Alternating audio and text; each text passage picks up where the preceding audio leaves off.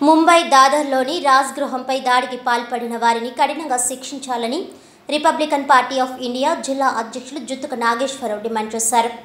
జగ్గంపేటలో స్థానిక సాంఘిక సంక్షేమ బాలుర వసతి గృహంలో ఏర్పాటు చేసిన విలేకరుల సమావేశంలో నాగేశ్వరరావు మాట్లాడుతూ డాక్టర్ బిఆర్ అంబేద్కర్ యొక్క జ్ఞాపకాలను పదిలపరిచిన రాజ్ గృహంపై దాడి చేసిన దోషులను కఠినంగా శిక్షించాలని న్యాయస్థానాలు సుమోటుగా తీసుకుని విచారించి కఠినంగా శిక్షించాలని డిమాండ్ చేశారు. రాజగృహంపై దాడి భారతదేశంపై జరిగిన దాడిగా భావించాలని.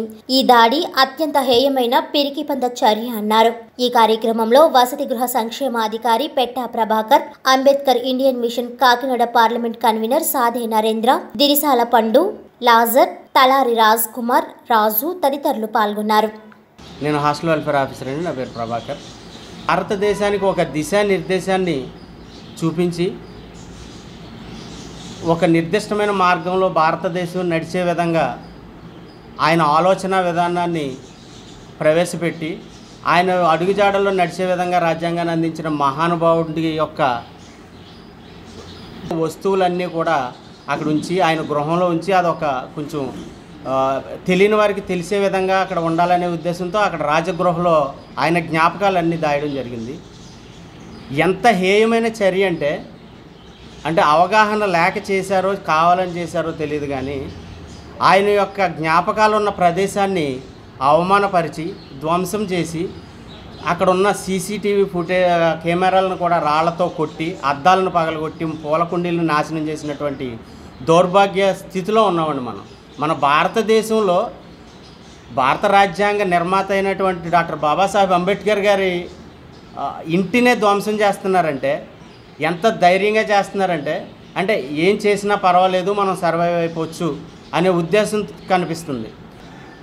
ఏ జాతిలో ఉన్నా సరే వాళ్ళందరినీ పూలప్ చేసి అరవై రెండు జాతుల్ని ఈ విధంగా ఎవరికైతే అందుబాటులో లేదో తిండి భద్రత ఆహారం ఏదైతే అందుబాటులో షెడ్యూల్ క్యాస్ట్ అనే పేరు పెట్టి అరవై రెండు జాతులకి న్యాయం జరగాలని చేశారు తప్ప ఆయన కులానికే చేయాలి ఆయనకి సంబంధించే చేయాలి అనేది ఆయన ఉద్దేశం కాదు.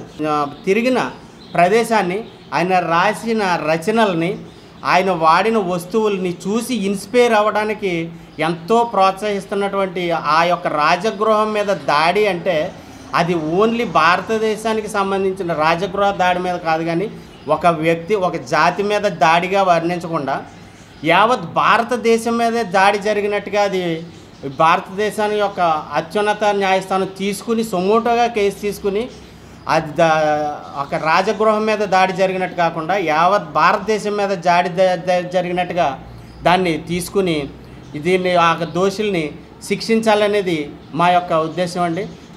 నేను రిపబ్లికన్ పార్టీ జిల్లా ప్రెసిడెంట్గా పనిచేస్తున్నాను.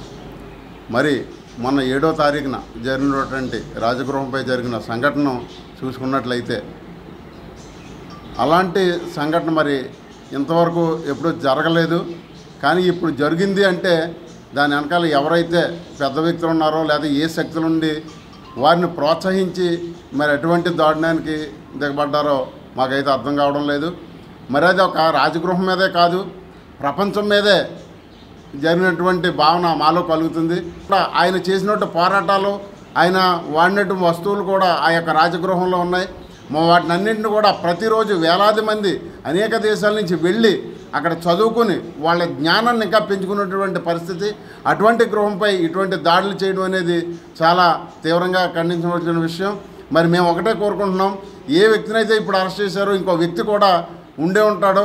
ఆ వ్యక్తిని కూడా వెంటనే అరెస్ట్ చేసి వారికి తగిన శిక్షను విధించాలని మా రిపబ్లికన్ పార్టీ తరఫున నేను కోరుకుంటున్నాను. లేని పక్షంలో మొత్తం ప్రపంచంలో ప్రతి దళితుడు ప్రతి నిమ్నజాతి నాయకులందరూ కూడా పెద్ద స్థాయిలో ఉద్యమించి మరి దాన్ని మేము వారికి శిక్ష పడేంతవరకు కూడా పోరాడుతూ ఉంటామని ఈ సభాముఖంగా మీ అందరికి కూడా తెలియజేస్తున్నాను. ఆ యొక్క రాజగృహాన్ని పాడు చేసిన వారు ఎంతమంది అయితే ఉన్నారో వాళ్ళందరినీ కూడా నా బయటకు తీసుకువచ్చి వారిని కూడా శిక్షించాలని వాళ్ళ వాళ్ళు ఇదే అవమానాన్ని భరిస్తూ ఉంటూ ముందుకు పోతున్నారు.